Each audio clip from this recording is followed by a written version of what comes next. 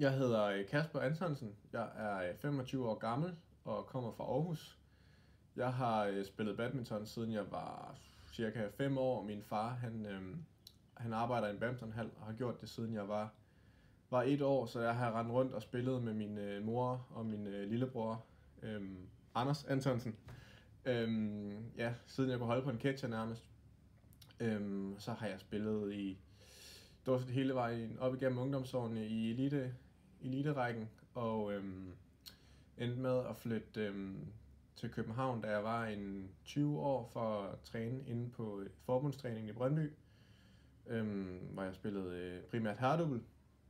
Øhm, og øh, jeg trænede der i en fire år cirka, øhm, og jeg kom op og havde en højeste verdensrangliste placering som nummer 32 Øhm, nu spiller jeg ikke lige så meget mere, som jeg gjorde for et års tid siden, men jeg træner stadigvæk cirka en 3-4 gange om ugen og spiller i Badminton Ligaen for, for Aarhus Badminton Klub.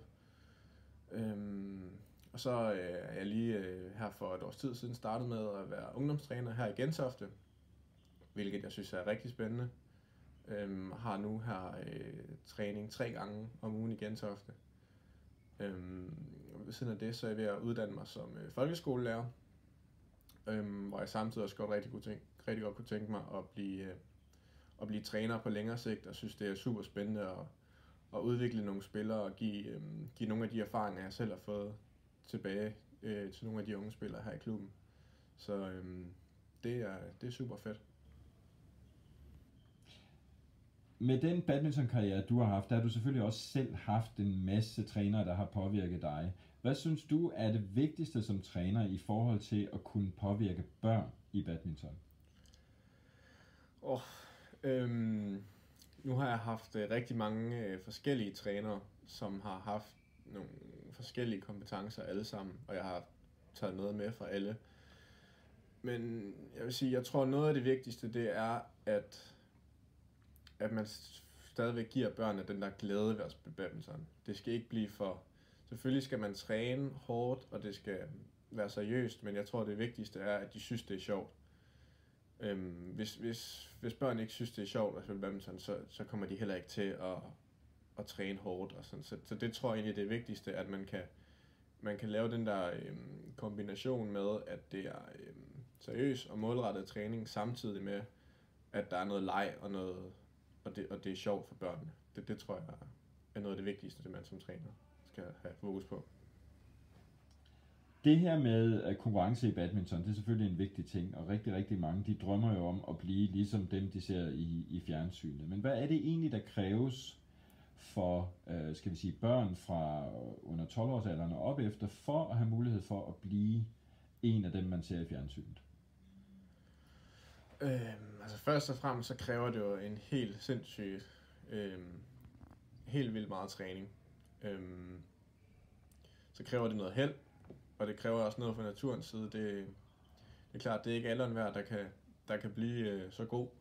Øhm, så vil der nok være nogle flere, der gjorde det, kan man sige. Øhm, så det er et lille nøglehul, man skal igennem. Men, øhm, men derfor så, så synes jeg ikke, der er noget galt ved, at, at øhm, at børnene de har en tro på det, og en drøm om at kunne, øh, kunne komme op og blive det niveau, de ser i tv. Det, øh, det skal, synes jeg helt klart skal være deres, være deres mål, hvis de gerne hvis de tror på det, så skal det være deres mål, og det skal de have lov til at gå efter, og lov til at drømme om. Øhm, og så tror jeg, det er trænernes opgave at hjælpe dem så, så godt de kan. Øhm, selvfølgelig skal man ikke som træner gå og give alle spillere øh, forventninger om, at de alle sammen kan blive verdensmester, men men jeg tror, det er vigtigt, at man bakker, bakker dem op i deres drømme, kan man sige. Øhm, og hjælper dem så godt man kan, selvom man måske godt ved, at der er nogen, der ikke når lige så langt som andre, men at man bare støtter op omkring øhm, børnenes, øh, ja, børnenes drømme, så, øhm, så, så, øh, så tror jeg, man er et godt stykke af vejen. Så det du sagde, det var en hel masse træning. Ja. Men er det så nok, at man træner i hold, eller vil man på et tidspunkt også være nødvendig at ligesom erkende, at man skal have noget, det vi kalder en-til-en træning eller privat træning?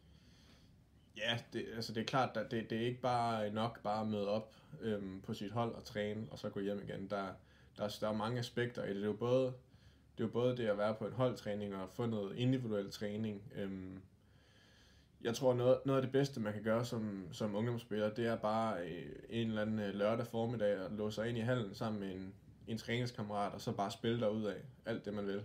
Det, øhm, på den måde også selv lære spillet, så det ikke hele tiden er en træner, der siger, nu skal du gøre sådan, nu skal du gøre sådan.